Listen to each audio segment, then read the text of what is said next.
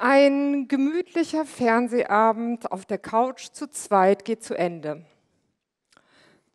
Der Film war wirklich kein Höhepunkt. Die Frau verabschiedet sich ins Bett. Du Schatz, ich glaube, ich werde heute nicht mehr alt. Mit mir brauchst du nicht rechnen. Er ergreift die Chance und verabschiedet sich ins Arbeitszimmer. Liebling, macht nichts, ich muss eh noch ein bisschen arbeiten. Sobald beide ungestört sind, widmen sie sich dem eigentlichen Höhepunkt des Abends. Er checkt die ein oder andere Business-E-Mail und switcht dann relativ schnell auf seine favorisierten, genau, Porno- und Sexseiten. Was er nicht weiß, ist, dass sie zeitsynchron sich mit dem Sextoy ihrer Wahl verwöhnt und dass sie innerhalb von Minuten orgastisch dahinschmelzen lässt. Beide schlafen tiefenentspannt nebeneinander vor Mitternacht ein. Wenn ihr denkt, dass dieses Ritual selten ist in unserem Lande, dann muss ich euch leider enttäuschen. Das ist vielerorts Alltag. Und wer kennt das nicht? Da hat man einen Partner, den man liebt und den man auch noch irgendwie halbwegs attraktiv findet. Und dann kommt der Alltag und er lebt sich so über die Lust. Und dann gibt es so viele Möglichkeiten, sich alternativ zu vergnügen. Nur ist auch irgendwie ein bisschen peinlich, darüber zu sprechen und naja, man möchte ja auch den Partner nicht kränken oder nachhaltig irritieren. Eins ist gewiss, die Anzahl von Orgasmen ohne Partner, zumindest ohne verbindlichen Partner, die hat in den letzten Jahren massiv zugenommen. Lustlosigkeit ist eines der Themen in meiner Praxis für Paar- und Sexualtherapie. Aber sind wir wirklich so overworked and underfucked, wie wir immer vorgeben? Oder sind wir nicht vielleicht schon ein wenig oversexed und dadurch bedingt underworked? Wenn man sich die Lustlosigkeit einmal näher anschaut, stellt man schnell fest, es ist nämlich keine generelle Lustlosigkeit, sondern eine partnerbezogene. Und das liegt unter anderem an dem sogenannten Coolidge-Effekt. Dazu eine kleine Geschichte. Calvin Coolidge war ein US-amerikanischer Präsident, der vor 100 Jahren mit seiner Gattin Grace eine Hühnerfarm besuchte. Nach einer getrennten Führung kam seine Frau ganz aufgeregt auf ihn zu und sagte, Calvin, stell dir vor, der Hahn treibt es zwölfmal am Tag. Daraufhin er, Grace, mein Schatz, aber nicht immer mit derselben Henne. Sexueller Überdruss, nachlassende sexuelle Funktionen. Dieser Effekt tritt leider nicht nur bei Tieren bei fortwährend demselben Partner auf, sondern auch bei uns Menschen. Und das ist ja auch irgendwie ein Dilemma.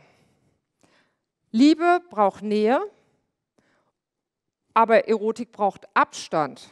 Wir sehnen uns nach Verbindlichkeit, nach gut Aufgehobensein, nach Nähe und dann sehen wir uns noch nach Neuigkeit, Abenteuer und Aufregung.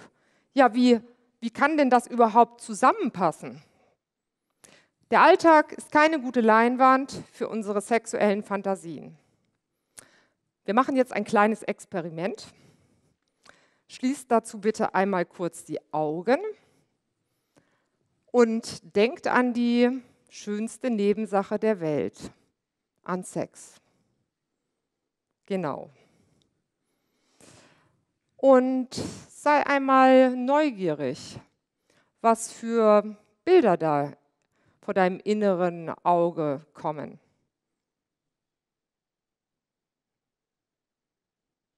Und was für Gefühle.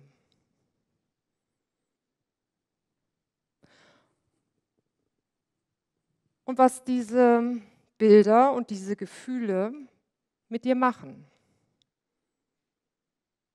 Vielen Dank. Ich gehe mal davon aus, dass die wenigsten an den Akt der Fortpflanzung gedacht haben, an die Zeugung eines Kindes. nun ja, ich gehe jetzt mal auf, davon aus, vielleicht schon ein paar mehr ans Liebe machen, zu dem Sex in der Partnerschaft. Die meisten werden jedoch an die triebhafte Seite der Sexualität gedacht haben, die mit Abenteuer, Leidenschaft und Aufregung einhergeht und mit diesem unwahrscheinlich guten Gefühl im Bauch. Fortpflanzung, Liebe und Triebe, das sind die drei Dimensionen von Sex. In der sexuellen Revolution, da hat sich die Fortpflanzung von der Sexualität entkoppelt durch die Pille, die eingeführt wurde, und die Straffreiheit von Abtreibung. Sex konnte frei genossen werden, Kinder waren planbar und der Slogan damals war Make Love, not War. Was heute passiert, ist eine wesentlich brisantere gesellschaftliche Entwicklung. Heute spalten sich die Triebe aus der Liebe ab. Und zwar durch einen enormen Sog nach draußen. Wir haben heute Pornos, die laufen 24 Stunden am Tag in den abenteuerlichsten Genres. In 3D-Welten, mittlerweile auch in 4D-Welten, in virtuellen Welten und mit einem entsprechenden Ganzkörperanzug. Wir haben Sextoys, die werden immer interaktiver. Wir können heute in Timbuktu sitzen und mit jemandem am Nordpol Sex haben. Hinzu kommen Millionen an Menschen, die über diese zahlreichen Apps und Portale unverbindliche und käufliche sexuelle Angebote suchen. Viele in verbindlichen Partnerschaften nebenbei gesagt und alles aus der heimischen Komfortzone anbahnbar.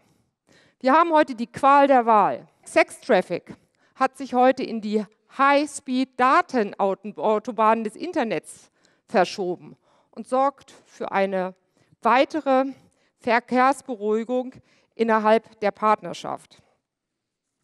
Wenn wir uns den Slogan anschauen, Make Love, not War, verändert der sich nicht heute in ein Make Sex, not Love, und was ist eigentlich mit der Liebe?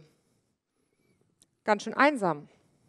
Hat die Liebe in diesen turbulenten Zeiten überhaupt noch eine Chance? Wir alle nutzen diese Freiheiten und experimentieren damit. Und diese Freiheiten betreffen uns alle. Früher oder später, direkt oder indirekt, in unserer Partnerschaft, in unserer Familie oder in unserem Freundeskreis. Und diese Freiheiten verändern sukzessive unsere sexuellen Fantasien, unsere Skripte, das, was wir wollen und das, was wir überhaupt noch in der Lage sind zu können. Die Messlatte ist sehr hoch. Ich arbeite seit 25 Jahren als Neurologin und Psychotherapeutin und natürlich sehe ich mehr die Kehrseite der Medaille. Und dabei beobachte ich in den letzten zehn Jahren deutliche Veränderungen von den Themen, mit denen Klienten zu mir in meine Praxis kommen. Es gibt vier große Themenfelder. Erstens, alte sexuelle Funktionsstörungen im neuen Gewand. Zu mir kommen junge Männer mit Potenzstörungen und Viagra in der Tasche. Zu Pornos geht alles prima, beim Partner gar nichts mehr. Orgasmusverzögerung und Orgasmushemmung ist paradoxerweise im Kommen.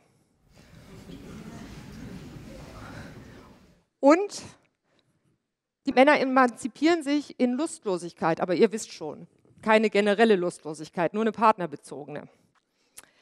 Zweitens, es gibt quantitative Veränderungen. Die Schere geht immer weiter auseinander zwischen den Unberührten, die sich hervorragend im Internet versorgen, und schon alles theoretisch wissen, aber überhaupt keine praktische Erfahrung haben und denen, die sich so durch die Betten tindern, ruh- und rastlos. Die WHO hat zwanghafte sexuelle Störung mittlerweile als psychische Erkrankung anerkannt. Wir haben allein in Deutschland nach konservativen Schätzungen eine halbe Million Porno- und Sexsüchtige. Dazu kommt ungefähr die gleiche Anzahl nochmal von indirekt betroffenen Partnern und Kindern. Es ist eine ernstzunehmende Entwicklung. Drittens, wir haben qualitative Veränderungen. Was früher Hardcore war, ist heute Blümchensex. Spezielle außergewöhnliche Praktiken wie Voyeurismus, Exhibitionismus, Fetischismus, BDSM sind heute Kulturgut, mittig angekommen, nichts Außergewöhnliches mehr. Und die Themen, mit denen Paare kommen, drehen sich sehr stark um Smartphone und den Begriff der Treue, der unklarer ist als je zuvor. Wir können heute Sex mit anderen haben und treu sein. Wir müssen es halt vorher abgesprochen haben.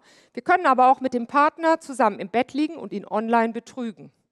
Dabei sehe ich, dass der Treuebegriff sich verschiebt von dem Ich bin dir treu hin zu Ich bin mir treu. Probleme sind da durchaus vorprogrammiert. Und nun die Frage aller Fragen. Wie können wir diese neuen Freiheiten so in unser Leben integrieren und genießen, dass wir gesund bleiben und dass unsere Partnerschaft gesund bleibt? Und was machen Sex-Gourmets anders als Sexaholics, die den Ausschalter nicht mehr finden? Ein saftiges Tiramisu und ein feuchter Orgasmus sind gar nicht so unterschiedlich.